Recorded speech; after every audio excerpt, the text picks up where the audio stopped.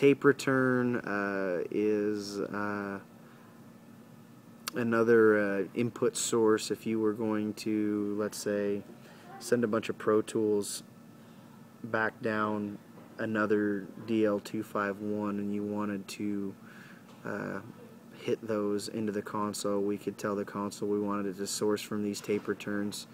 Um, and we could play those inputs back through the tape returns uh, as opposed to the input channel so you wouldn't have to unpatch anything. And uh, it seems like a good time to talk about that. What Midas has done is we could have one DL251 that's patched up applicably for one band at a festival, and then we could have another DL251 that's patched for another band, and so on and so forth. Because we've got the six AES 50 ports. Each one of these DL251s takes two AES ports, so effectively we could hook three DL251s up to this console. And uh, when we changed scenes, we could tell it that we wanted all of the inputs to route from.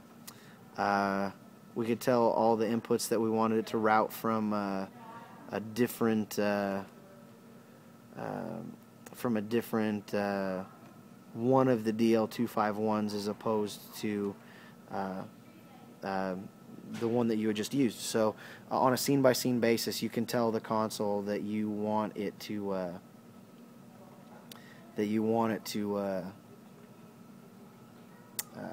source from uh, a different DL251. And in order to do that, in the patching area here, we've got this uh, this config button up here on the top that we would click.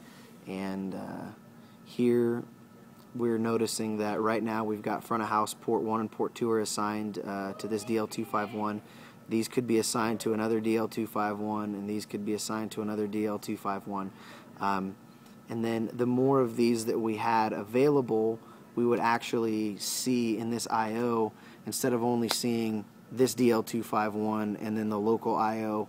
we would see another row for another DL251, another DL251, so on and so forth, so that uh, we would uh, be able to access and patch all of those accordingly uh, on a scene by scene basis. So again, Midas has really done their homework and given us a good way to uh, you know, be able to do a festival without having to unpatch the the splitter back and forth, so on and so forth, and made uh, our lives really, really nice.